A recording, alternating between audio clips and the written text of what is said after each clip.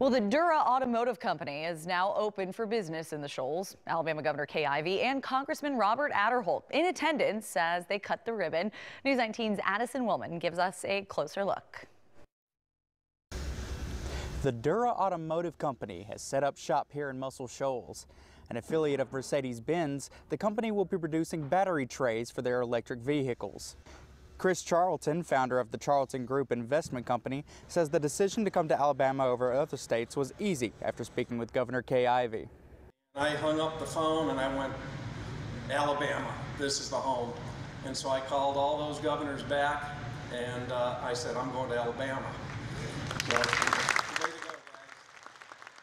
the plant is the first of its kind here in North America. It's estimated to bring nearly 300 jobs to the Shoals and will be one of the largest economic entities in North Alabama.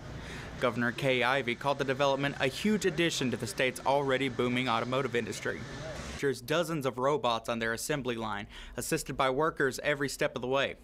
Congressman Robert Aderholt called the facility a great step towards economic development now, as well as in the future for North Alabama.